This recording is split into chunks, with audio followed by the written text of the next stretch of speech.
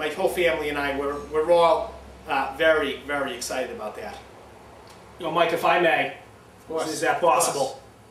I want to recount, you know, an incident that happened with me and my family a few weeks ago with the Sox. Really incredible. Uh, for the 4th, on Independence Day, 4th of July, you know, Judy and I, would take the kids up every year to Manchester. Uh, it's a good place, you know, it's, it's nice. There's lots of little lakes around. We went up to Lake uh, Susquehanna. Uh, it's near Winnipesaukee, not far. But this is a lot better. There's not many people around. Uh, it's not very crowded. Some people, you know, I don't know, they avoid it. They call it a swamp. I don't know what that is. But kiddies love it. They put their feet in the water. They play the wiffle ball. They play the horseshoes. You know, we, we make potato salad. We grill the dogs. Family Franks, of course. And, uh, you know, it's, it's a good place for the for the 4th, good fireworks. And uh, But, you know, we, we don't actually stay for the fireworks on the 4th. We leave about 5 in the morning. You know, the traffic is just, Oh. it's awful. You got to beat the traffic. It's brutal. So we leave about 5 in the morning to get back to Massachusetts.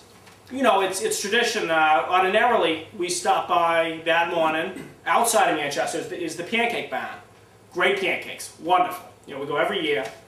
This year, Judy and I, the two kids, we got our usual booth in the back. We sit down, looking at the menus. Corner of my eye, who do I see? Guess who I see? Out of the corner of my eye, in the Pancake Barn. I would guess uh, uh, Carlos Quintana. No, but I should be so lucky. Great prospect he was. Bernie Carbo. Bernie Carbo. Bernie freaking Carbo, all right? A legend, the hat, the soul of that 1976 team. Okay? A man who deserves the utmost respect. Okay? Sitting down, looking at the menu, and I see Bernie Carbo, and you know what he's doing? He is paying the bill. That restaurant had the audacity, the nerve to charge Bernie Carbo The gall. to charge him. Who charges Bernie Carbo? The heart of that 76 team. Kids now, they got no respect. All right? They got these two rings now, 2004, 2007. That was a gift back then, that team. Dewey, Yastrzemski, Lynn, all those. They don't make them like that anymore. Absolutely. They're solid, solid players. So what'd you do? So you know what I did? I stood up because I says to myself, you know, he might not be the veteran of a foreign battle, a foreign war, but he's a veteran of that 76 team. Sure is. The heart and the pride of that team, the 76 team. So I stood up, put my napkin and menu down, and I started clapping. And I started clapping. And I clapped for about a good three minutes Good for you. you know. And uh, you know he. Uh, What did he do? Well, that's the thing. He he ended up leaving.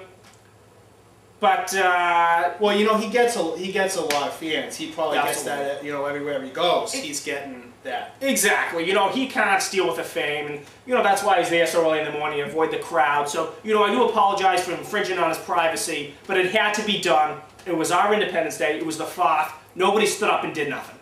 Uh, so you know, and, and everybody sort of stared at me for a while, but I think it's because they got the point. They got the message, and I think my kids got the point, and that's you know, that, that that's the point of this whole thing. Respect the veterans. You know, it's, that's an important lesson for, for the kids to learn as well. Oh, absolutely. Uh, you know, and on behalf of uh, for myself, and also on behalf of Red Sox Nation, I want to thank you for what you did at the Pancake Barn. Oh, it's- because that was you know that was a real show of, of support and of solidarity amongst the Red Sox Nation for the veterans of the of, of, of the team. My pleasure, my pleasure. You know, accordingly, I was thinking about it. Probably, you know, meeting Yastrzemski's first. This goes second. You know, seeing Bernie Carbo, and uh, you know, having our, uh, you know, our eyesight met, and uh, probably third, marrying Judy, and the fourth, the christening of our two kids. But you know, right up there, right up there. Well, great. Uh,